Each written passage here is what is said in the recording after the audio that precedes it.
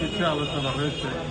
আমাদের ওষুধ নীতি নিয়ে আলোচনা হয়েছে এবং তার একটা আইন আমরা প্রণয়ন করতে যাচ্ছি, সে আইন নিয়ে আলোচনা হয়েছে এবং সুন্দর আলোচনা হয়েছে এবং আমরা আশা করি নেক্সট ক্যাবিনেট মিটিংয়ে আইনটি এখানে আবারও এটাকে উপস্থাপন করা হবে।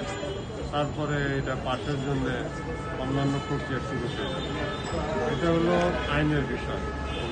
আর এমনি আলোচনা হয়েছে। টিকা নিয়ে আলোচনা হয়েছে। আপনারা জানেন গতকাল রাত্রেই আমাদের কাছে পঞ্চাশ লক্ষ টিকা আবার আসছে সিনো ফার্মে। পঞ্চান্ন লক্ষ, এবং এই নিয়ে আমাদের টিকা প্রায় দুই কোটির উপরে হাতে রয়েছে। আমরা আজকে থেকে নিয়ে আগামীকাল পরশুর মধ্যে আমরা প্রায় আশি লক্ষ টিকা আমরা দিয়ে দিব। সেই কর্মসূচি শুরু হয়ে গেছে। আমরা প্রস্তুত এবং কাজকর্ম শুরু হয়ে গেছে। এটা আপনাদের আমরা জানালাম। আর আরেকটু আলোচনা হয়েছে স্কুলের ছাত্রছাত্রীদেরকে টিকা দেওয়ার বিষয়টি বারো বছরের থেকে সতেরো বছরের ছেলে মেয়েদের যে টিকার কার্যক্রম সেই কার্যক্রম এখন প্রায়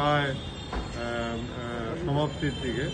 কার- যে তালিকার চূড়ান্ত করার যে কাজটি অর্থাৎ আমরা তালিকা আমাদের শিক্ষা মন্ত্রণালয় দিয়েছে সেই তালিকা আমরা আবার আইসিটি মন্ত্রণালয় দিয়েছি।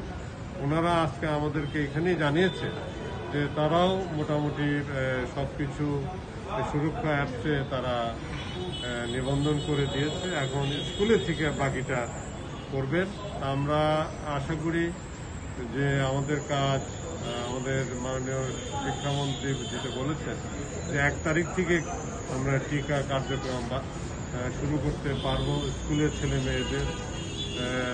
এবং সেটা আমরা ঢাকায় বারোটি কেন্দ্র আমরা ঠিক করেছি যে কেন্দ্রে শীততাপ নিয়ন্ত্রিত এবং সেখানে আমরা ছেলে মেয়েদেরকে স্কুলের ছেলে মেয়েদেরকে টিকা দেওয়ার ব্যবস্থা আমরা করেছি। ইনশাল্লাহ সবই ঠিক আছে। আমাদের যে অন্যান্য যে টিকা যেটা কার্যক্রম, যেটা আমরা প্রায় ছয় লক্ষ রোজ দিয়ে থাকি, সেই কার্যক্রমও চলমান থাকবে। স্কুলের ছেলে মেয়েদের টিকা দেওয়া চলমান থাকবে। আর আমরা যে যে, যেটা আমরা একটা প্রোগ্রাম করি, যে প্রোগ্রাম যেমন ধরেন আশি লক্ষ সেকেন্ড ডোজ টিকা দেওয়া এটাও চলমান থাকবে।